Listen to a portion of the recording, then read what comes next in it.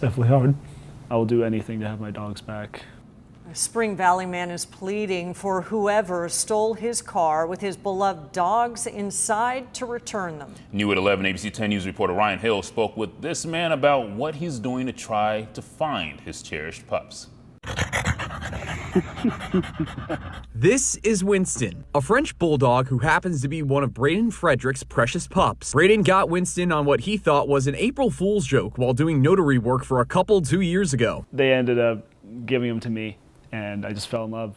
And he was my best friend. I noticed he was fast, and I was like, okay, let's see what you got. Braden would find out just how fast the Frenchie is. In fact, he's so fast that he broke a world record in 2020. On Tuesday afternoon, something heartbreaking happened to this special dog. Frederick says Winston and his other dog, Xena, a deaf Boston Terrier, were inside his 2014 Toyota Camry when the car was stolen. I had direct vision of my car. I left the AC on because they're Frenchies and Boston Terriers, they overheat. At first, I couldn't believe it. The dog's owner immediately called 911 and began looking for anything that could show what happened to his beloved dogs. He shared this surveillance video with us that he got from a nearby beauty salon of the man he says stole his car with the dogs inside. He decided to just get in my car with my dogs, knowing full well what the consequences could be. Braden says he's been driving around a car someone loaned to him looking for Winston and Xena, getting next to no sleep and hoping for the best.